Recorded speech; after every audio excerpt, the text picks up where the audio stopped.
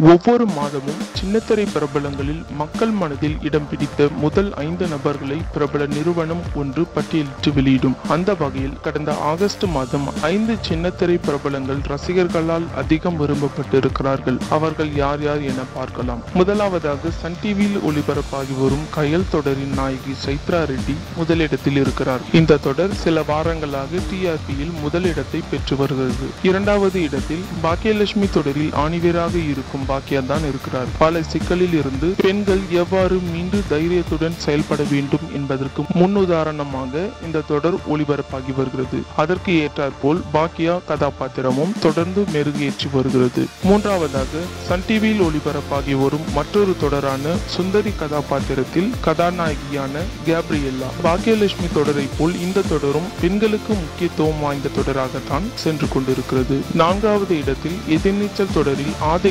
குணசேகரனாக நடித்து வந்த மாரிமுத்து இடம்பெற்றிருக்கிறார் கடந்த சில நாட்களுக்கு முன்பு அவரது இழப்பு சின்னத்திரைக்கு பேரிழப்பாக மாறியிருந்தது.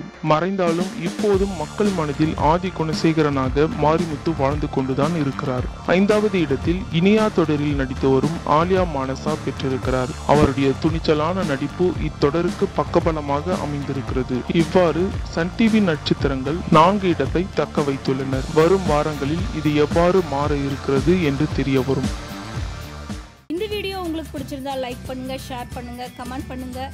மறக்காம நம்ம சேனலை சப்ஸ்கிரைப் பண்ணுங்க.